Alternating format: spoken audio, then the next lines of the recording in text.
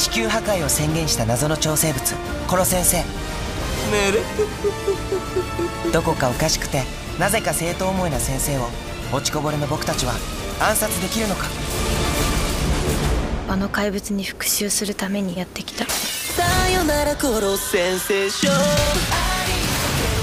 過去に何かあったの？2年前まで先生は死神と呼ばれた殺し屋でした。すっごい優しそうな人なんですね。思うとお前の体は全体的に改造される。先生は来年の3月には死にます。コロ先生の命を助ける方法を探したいんだ。体だけじゃなくて頭まで小学生か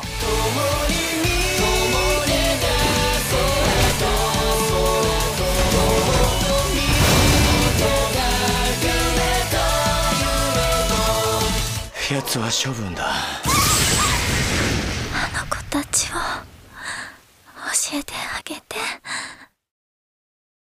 これが僕らの答えだ。最後に愛を込めて。先生は幸せです。ありがとう。さよな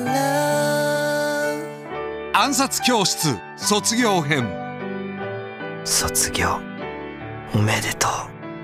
さよならコロ先生。